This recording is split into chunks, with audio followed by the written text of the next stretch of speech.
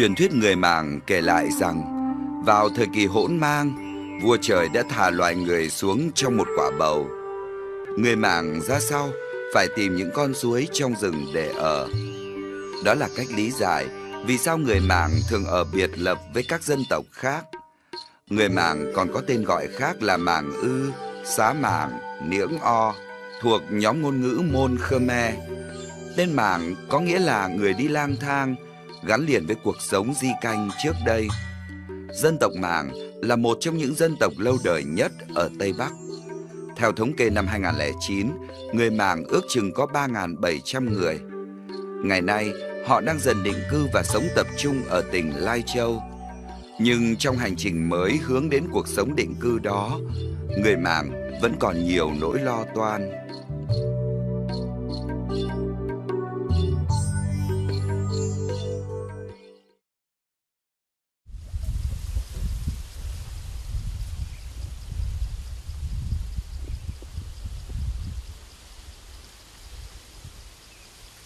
Mùa này, người dân không phải lên nương.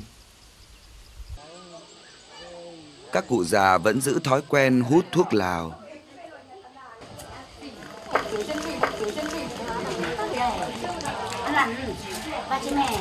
Trên mặt một vài cụ vẫn còn đường nét mờ của những hình vẽ ngẫu hứng.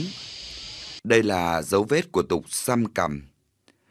Đến tuổi trưởng thành, phụ nữ màng phải xăm lên cằm để được coi là ngoan ngoãn và tốt bụng.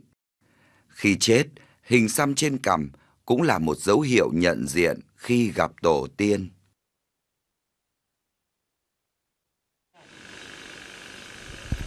Apang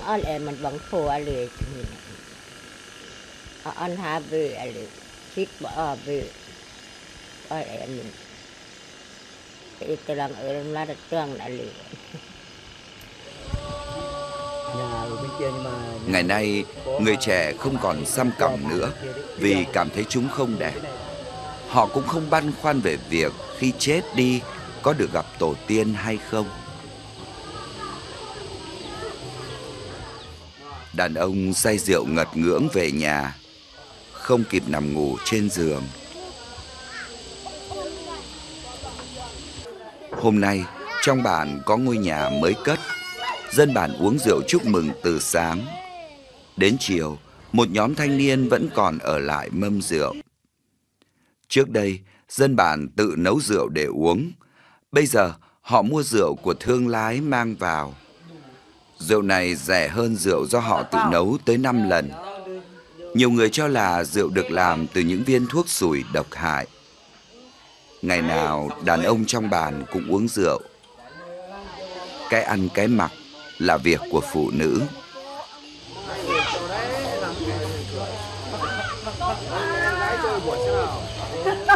Muốn về bản đây.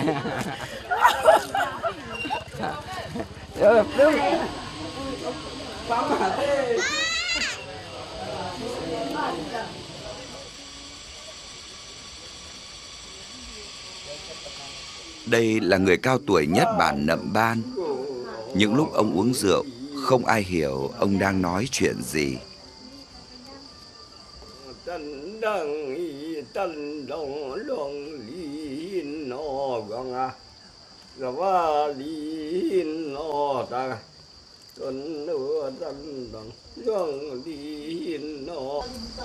Con trai ông say quá, không nằm nổi lên giường. Rượu đã trở thành một phần cuộc sống của người Mảng. Và có lẽ Chính những tháng ngày say triền miên đã dẫn tới sự suy yếu của giống nòi dân tộc này.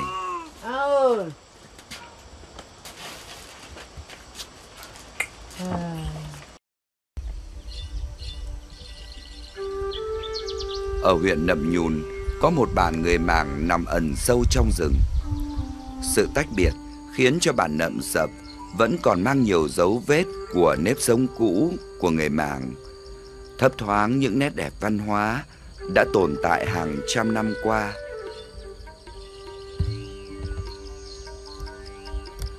Bản chỉ có 20 nóc nhà. Khoảng cách từ đây đến những bản xung quanh là 30 km. Còn để đi ra đường lớn, họ phải đi hết một ngày đường xuyên rừng Cuộc sống ở đây gần như tự cung tự cấp chỉ lên em một lối cho ra đồng mang một công to on giang rồi em nhớ mẹ thật mỹ em nói chuyện là là qua cái na cái to Một vài người già trong bản vẫn còn nhớ bài hát cổ này. Chồng bà vẫn giữ nghề đan ghế mây để kiếm sống. Trong bản, chỉ còn một vài người biết làm việc này.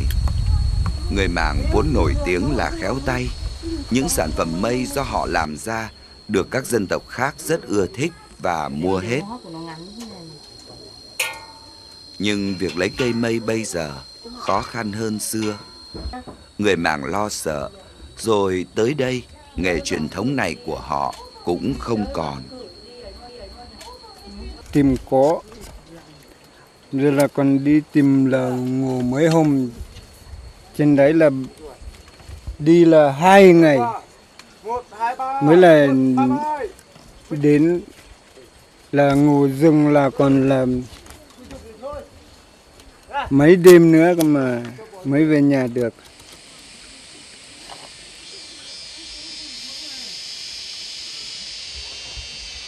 Buổi tối, bàn của người Mảng yên ắng.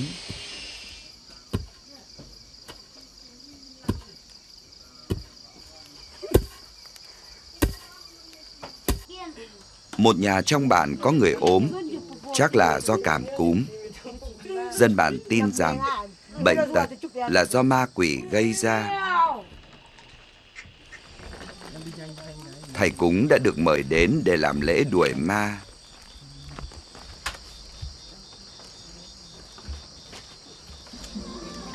đâu bên gì bên mình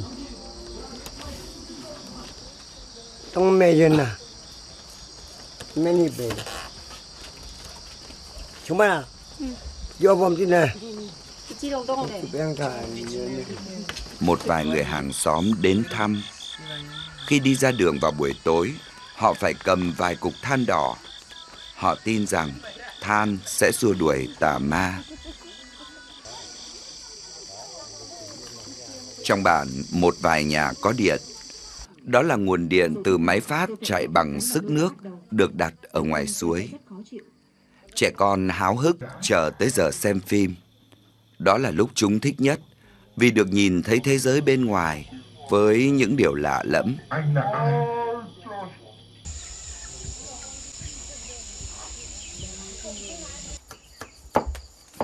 Đêm qua, Lò Văn Máy đi săn.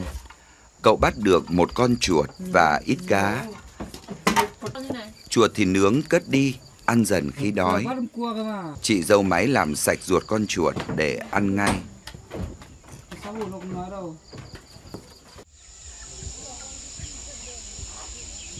mình thôi thật mà riêng thì Vợ chồng anh chị Máy lấy nhau đã 8 năm, nhưng mãi mà không có con. Máy lấy vợ được 2 năm, và cũng vậy. Cậu cho rằng do mình đau dạ dày nên chưa có con.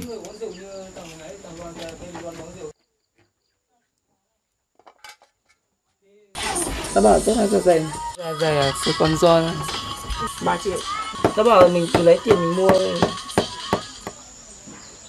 Bố mẹ Máy là anh em họ gần. Họ được phép lấy nhau vì người Mảng có quan niệm con gái đi lấy chồng không còn quan hệ huyết thống.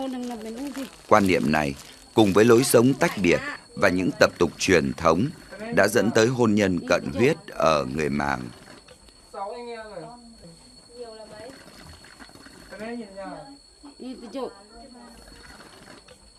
Chị Lò Thị Xìn là người duy nhất trong bản nậm sập lấy chồng dân tộc Thái.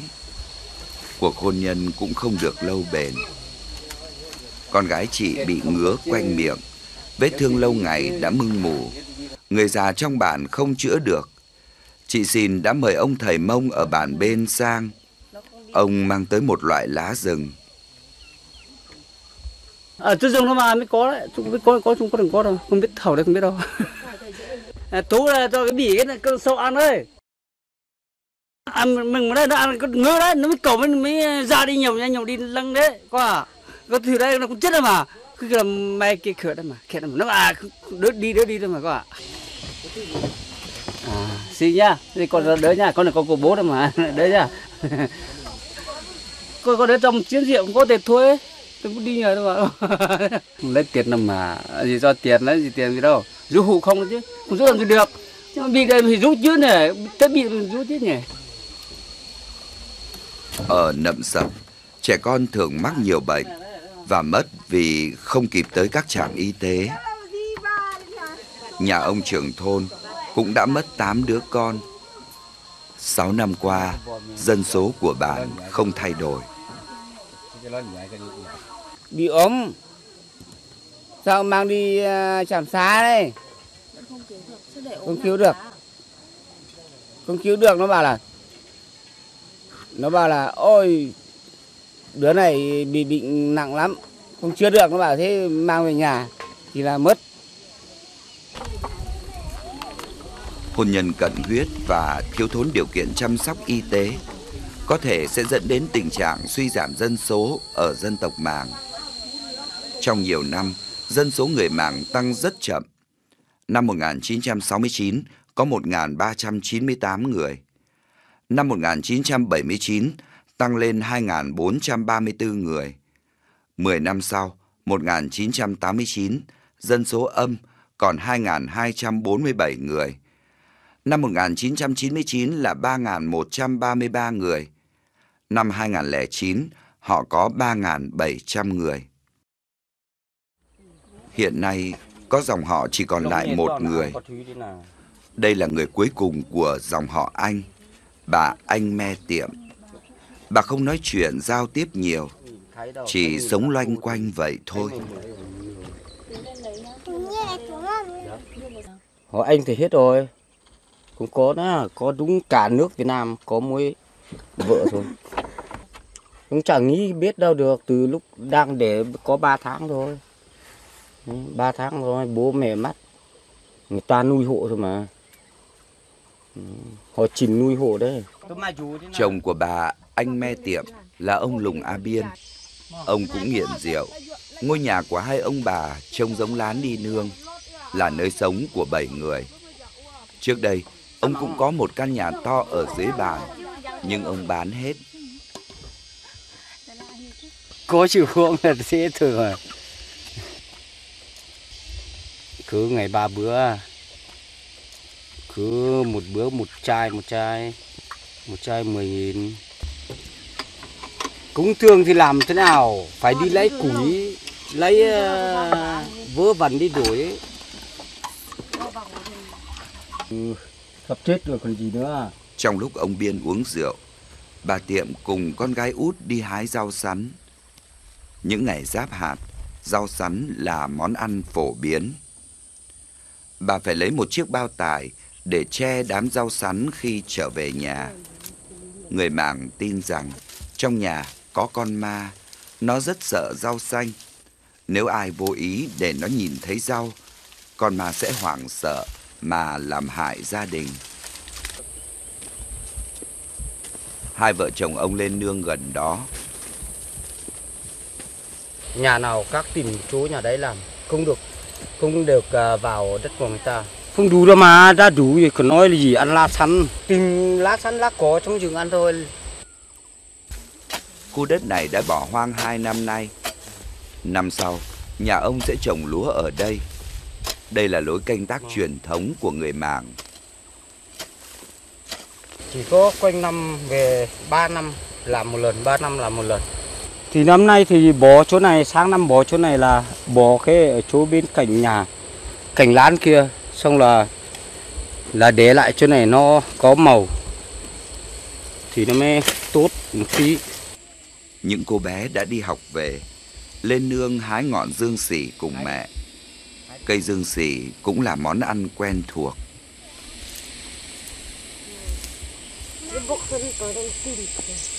Mang bay tiền ha.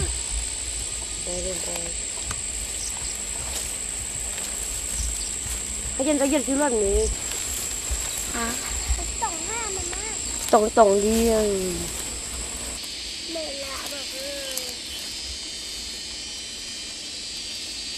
là giàu miếng. Nó cái pa nè giàu mỡ ba chứ mẹ.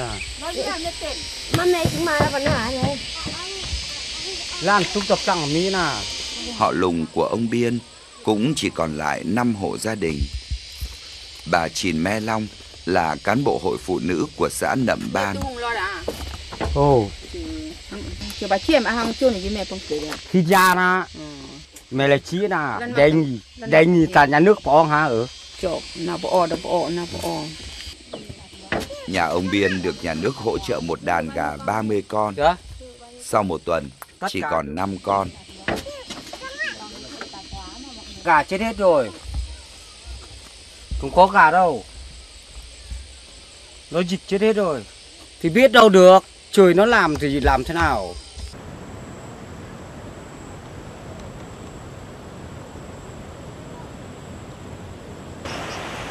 Những cơn mưa rừng đổ xuống bất ngờ và dữ dội. Thời tiết ở đây khắc nghiệt, cũng giống như cuộc sống của những người màng ở trong rừng sâu.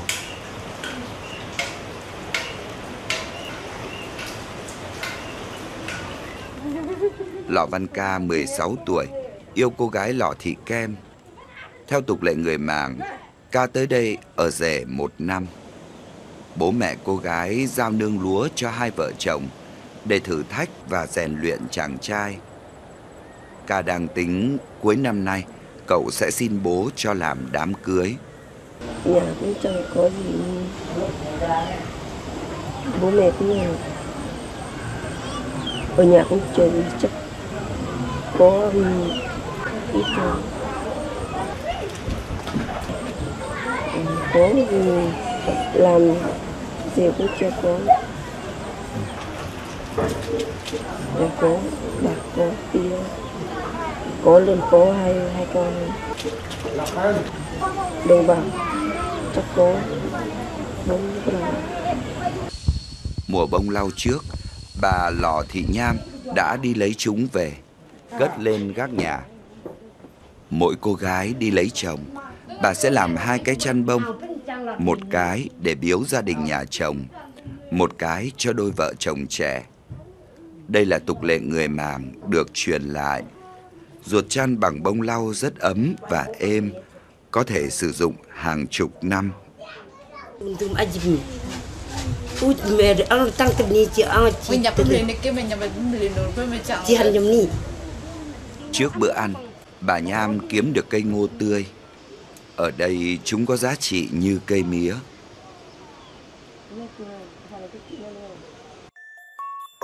Những hình ảnh được chụp lại trong đám cưới của ca. Lễ vật được nhà gái chia đều cho mọi người trong bản cùng chung vui.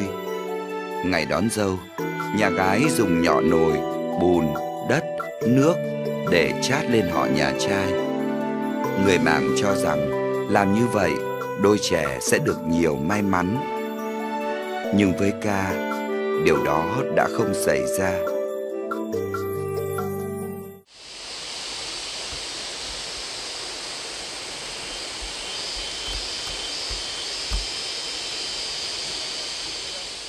Một năm sau, đoàn làm phim quay lại bản Nậm Sập.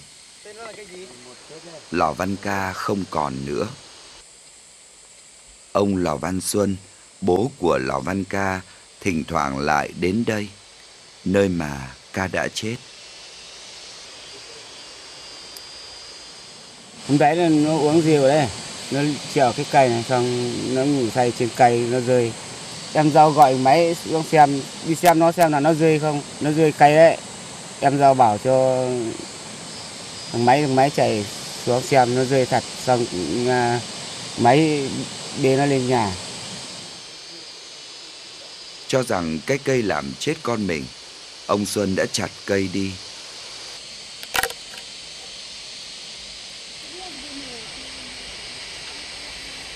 Vợ của ca đã sinh một bé gái. Mỗi chiều, lò thị kem đều nhìn về hướng cái cây ven suối, thương nhớ ca. Cô muốn đứa trẻ lớn lên sẽ có một cuộc sống tốt hơn bố mẹ chúng.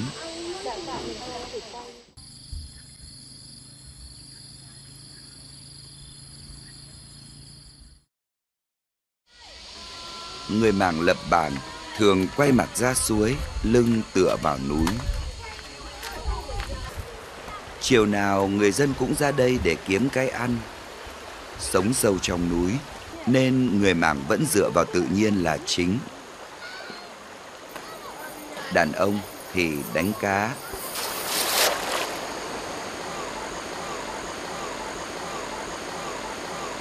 phụ nữ vớt rêu đá làm món ăn.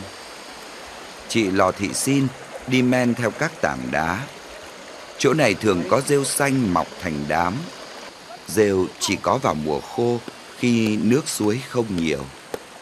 Để ăn được món rêu đá cũng mất rất nhiều công sức. Ở Nậm Sập, rêu đá được coi là một bài thuốc. cô cô đã ở trong nó chứ không ăn được đâu lá cây này cây ở trong được ba lần bốn lần được Về sao với chị ăn? với mớ Với muối à? rồi về đến ở, ở gần suối mới được ăn rêu chứ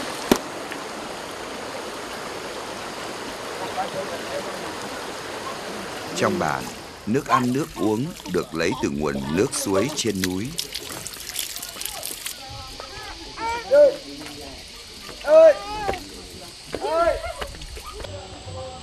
Nhà nào cũng nuôi lợn. Chúng được thả rông quanh bản tự kiếm ăn. Lợn chỉ được thịt vào những dịp đặc biệt hoặc là lễ Tết. Hàng năm, nhà nước hỗ trợ cho dân bản thóc giống. Năm nay là giống lúa thơm. Một tháng nữa sẽ tới lúc tra hạt. bảy tám chín này mười mười một to à tóc giống chứ nhà nước cho thì mình đi lấy ba bon mình cũng rủ thôi mình thì đi lấy tiền đi mua ở Phạt nhìn ô đến nào lên hạt bé quá rồi cũng chắc hạt cơ cả bạn có làm đâu chỉ cứ để thế thôi cho gà thôi năm nào thì được tám ba tám năm nay cũng được tám ba tám chỉ được cái này thôi Máy hẹn thanh niên trong bản cùng đi bán thóc.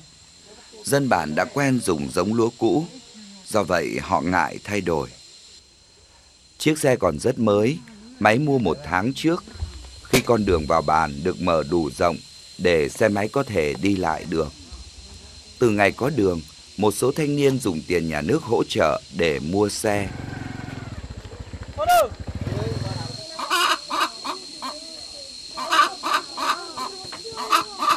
Dù ở sâu trong rừng và thương người, trong bản vẫn có một điểm trường cấp 1 để các em không bị thất học. Hai thầy giáo cắm bản đã ở đây được gần một năm. như đường đi lại nữa nó quá khó khăn đi mấy tiếng. Còn chỗ khác người ta lại đường có đường là to được mới xúc lên cơ.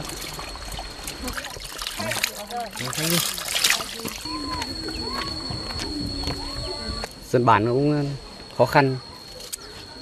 Có gì ờ, dân bản cũng chia cho thầy. Có mớ rau quả bí chẳng hạn. Mình nghiền ừ, đi dạy là phải tâm huyết với nghề. Vì điều kiện khó khăn mình cũng phải cố gắng để, để, để sống xong ừ, để dạy cho các em nó biết được cái chữ. Điểm trường có 27 học sinh, các lớp 1, lớp 3, lớp 4 và lớp 5. Một phòng, hai lớp học, bên học toán, bên học văn. Các thầy giáo luôn cố gắng khơi gợi ước mơ của các em qua mỗi bài học. mình cũng về định hướng cho các em là ờ, đi học ờ, cố gắng học để ờ, học lên lớp cao hơn để sau này đi làm công công việc gì đấy Khi lên cấp cao hơn, các em ở nội trú ở trường trung tâm. Học sinh người Mảng luôn được đánh giá là chăm ngoan. Sau nhiều năm, đã có những người Mảng đầu tiên học tới trình độ trung cấp, cao đẳng.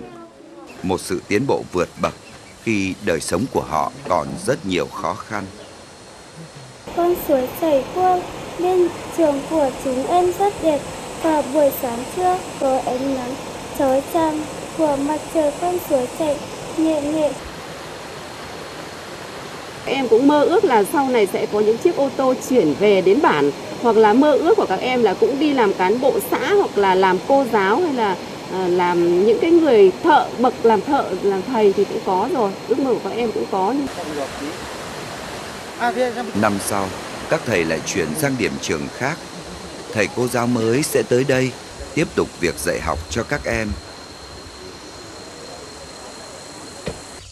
Nhà nước đã có rất nhiều chính sách hỗ trợ người màng, nhất là việc quy tụ tập trung họ lại tại một nơi ở mới.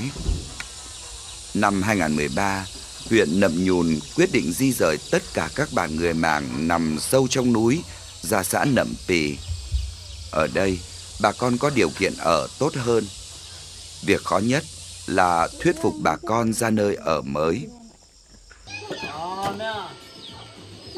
Chiều nay, có đoàn cán bộ của xã Nậm Pì và bản Nậm Sập để bàn bạc với dân bản về việc di rời. Họ đã xuống đây nhiều lần. Ở nhà trường bản, mọi người đang họp về kế hoạch di rời bản. Khi ra nơi ở mới, người màng được hỗ trợ gạo ăn trong 2 năm, được phân đất để làm nhà và sản xuất. Nhưng nhiều người còn băn khoăn về khoản tiền hỗ trợ, về vị trí của ngôi nhà mới và cả sinh kế lâu dài. Thì lúc đấy mà không được thì bảo là tại cán bộ xã hay thế này thế nọ không quan tâm đến dân. Bây giờ bản thân mình này này, bà con mình này phải ý kiến trong cái đợt công tác à, di dân à, đến nơi ở mới đấy. Cuối cùng là cái nền nhà kia trước em đi xem này, một nền thì san tấp, một nền thì cao, một nền thì cấp ờ, tấp. Cuối cùng là muốn đi chơi với nhau cũng không được. Hẹp lắm, đi xem rồi. Tối hôm đó, mọi người lại có một dịp để uống rượu say. Cho tôi bây giờ hai tô cái nào nhanh nhỉ? Ăn ấm rồi. Hai lần nữa hả? Mua bao nhiêu tiền rượu đấy? Làm này đi. Có trả tiền luôn không? Chưa mai mà ba ngày uống hai tháng chưa được uống. Một ngày á. Một ngày làm gì một ngày thiết. Cầm, cầm. Ừ. Một ngày thì chưa chắc là hai can hay sao đấy.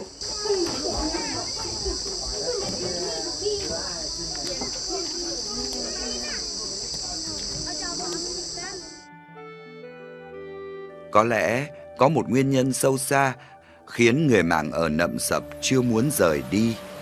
Đó là sự gắn bó hàng trăm năm và có thể là hàng nghìn năm với một vùng đất nằm ở giữa rừng sâu. Sự gắn bó mà họ chỉ có thể cảm nhận được nhưng không gọi tên nó ra được. Sau hai năm vận động, đã có bốn bản người màng chuyển tới khu tái định cư. Những cây ngô đã được trồng xuống, đánh dấu vụ mùa đầu tiên ở nơi ở mới. Nơi ở mới có điện, đường, trường học, tốt hơn nhiều khi sống ở bản cũ.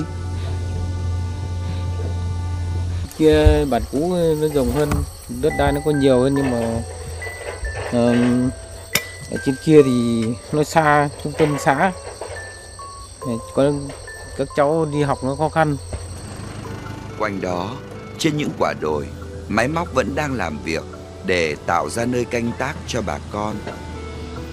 Ở những quả đồi khác, cây cao su đang dần phủ xanh đất trống. Người mảng sẽ có đất, có đồi và trở thành công nhân cao su.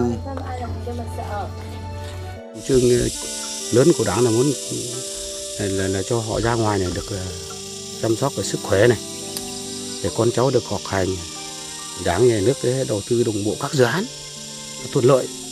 Chứ ở trong kia thì bây giờ chỉ đơn giản là, là muốn đầu tư cái đường điện vào thì cũng khó xa.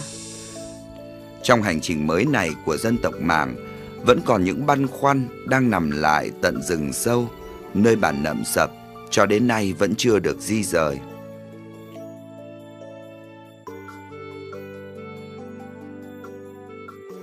Họ vẫn lưu luyến cánh rừng, con suối ở bản cũ. Nhưng ai cũng hiểu rằng bản mới sẽ có điều kiện sống tốt hơn. Đây cũng là một cuộc di rời lớn trong suốt lịch sử hàng trăm năm của dân tộc Mảng. Một hành trình mới hứa hẹn nhiều điều tươi sáng hơn.